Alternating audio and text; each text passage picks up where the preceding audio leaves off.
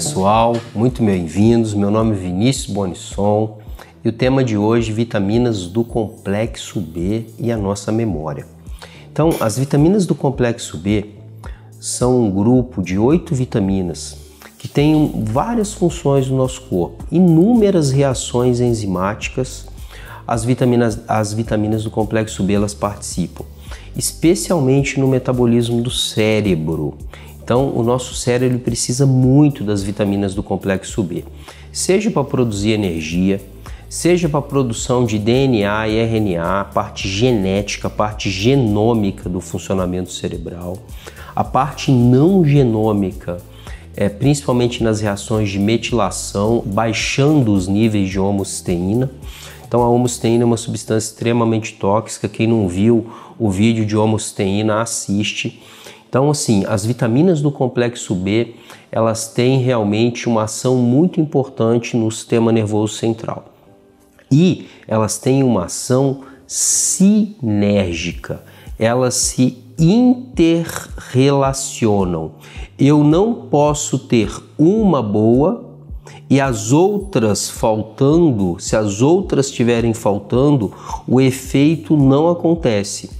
E a ciência focou muito, os estudos, eles focaram muito nas vitaminas B6, B9 e B12, que são as vitaminas responsáveis por baixar a homocisteína.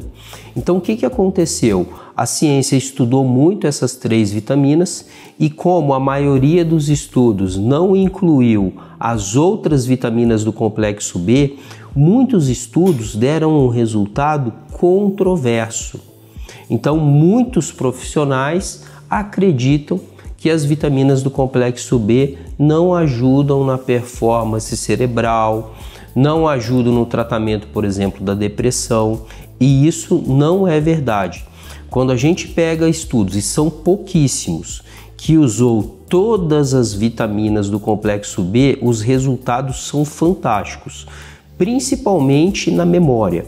Então, uma coisa que eu nunca vi ninguém falando, eu vou falar para vocês aqui, pessoal do canal. Então, assim, as vitaminas do complexo B, elas melhoram a performance a nível agudo. Então, por exemplo, se eu tenho um concurso público para vou, vou fazer uma prova, a prova dos meus sonhos, né? Eu quero passar, por exemplo, para uma, uma promotoria, eu quero fazer uma prova para juiz, eu quero fazer um vestibular para medicina, eu quero fazer um concurso público para ser médico do estado, qualquer concurso. Se eu fizer uma dose boa, que é uma dose acima da dose recomendada, por exemplo, eu tomar dois comprimidos de complexo B de 8 em 8 horas 48 horas antes da prova, eu vou ter uma melhor performance cerebral. Eu vou melhorar o meu rendimento. Isso que eu estou dizendo para vocês chama efeito agudo das vitaminas do complexo B. Isso é incrível. Então, por exemplo, a partir do momento que eu fiquei sabendo desse estudo, todas as vezes que eu vou fazer uma prova, que eu vou fazer uma entrevista, até às vezes quando eu vou fazer uma palestra, eu uso o complexo B antes da prova para ter um raciocínio melhor, ok? Então, é, outra coisa importante, né? Então, existe uma grande prevalência de deficiência de vitaminas do complexo B na população. A vitamina B1, por exemplo, mais de 60%. Se você pegar pessoas que bebem é, bebida alcoólica, né? Não não dizendo alcoólatra. Alcoólatra, todo alcoólatra tem deficiência de vitamina B1. Mas assim, a, as pessoas que bebem em excesso, os pacientes diabéticos de longa data. Então, a vitamina B1, mais de 60% da população em países em desenvolvimento tem falta da vitamina B1. A riboflavina, que é a vitamina B2, que é importantíssima para o diabetes, também é absurdo a falta de vitamina B2. A vitamina, a biotina. A biotina é uma vitamina que todo mundo conhece para o cabelo. A biotina é fundamental no metabolismo da glicose e resistência à insulina. Então a biotina é boa para o emagrecimento, a biotina é boa para o diabetes. A riboflavina também é importantíssima no metabolismo da insulina.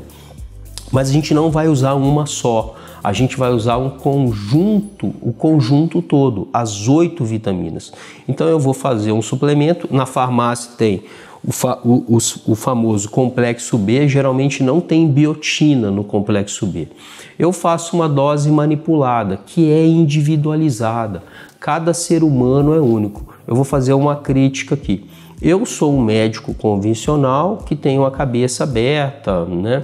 Eu, eu sou ainda da fase da medicina integral, que começou com um físico chamado Amit Goswami. Então eu gosto muito de atuar na parte emocional do meu paciente. Eu gosto muito de usar terapias. Aí a gente fala assim, ó, terapia alternativa, né? Não, são alternativas que eu tenho para tratar o meu paciente. Então, por exemplo, eu posso dar um antibiótico natural chamado cranberry para infecção urinária que funciona. Isso não é uma medicina alternativa, isso é uma alternativa que eu tenho de tratar. Então, no meu arsenal na minha prática médica eu utilizo várias alternativas, né? Então, falar medicina alternativa, qual veio primeiro? O que veio primeiro foi a medicina mais antiga, a medicina ayurveda, medicina chinesa, tá? Então, assim, o que é medicina alternativa, né? Então, a medicina ocidental, medicina oriental, então bom é a gente integrar. Então, assim, o que eu tô vendo na medicina integrativa é que é assim, ó, ah, é, você vai tomar magnésio. Você está com son, insônia, você vai tomar magnésio treonato 300 miligramas para todo mundo, né? Poxa, não é, isso não pode ser. Tá? Então, por exemplo, uma pessoa que tem uma velhinha, acabei de atender a dona Maria aqui, 75 anos, 45 quilos. Não pode ser a mesma dose do, do João que eu atendi, que tem 100 quilos e 45 anos. Não pode ser. Eu preciso individualizar a dose. Então, por exemplo, o meu paciente diabético, eu carrego a mão na vitamina B1, eu aumento a dose de vitamina B2, eu aumento a dose de biotina. Realmente, se a pessoa tem insônia, eu aumento a dose da vitamina B6, que é a piridoxina.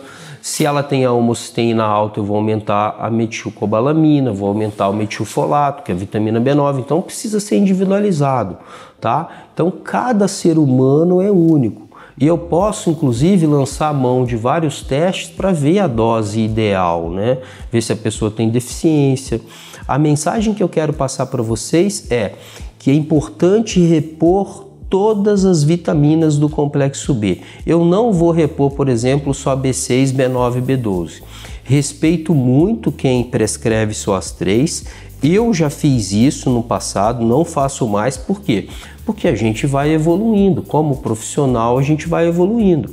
Então hoje eu faço diferente, mas não é porque eu, lá no passado eu fazia errado. Então o nosso cérebro esquerdo é tudo assim, preto e branco, certo e errado. Não, a gente está sempre evoluindo. Então hoje, com o nível de consciência que eu tenho, eu não passo mais vitaminas do complexo B isoladas, eu passo todas em conjunto. E é essa a mensagem que eu queria passar para vocês. Muita criatividade, muita força, muita sabedoria para vocês e até o próximo vídeo.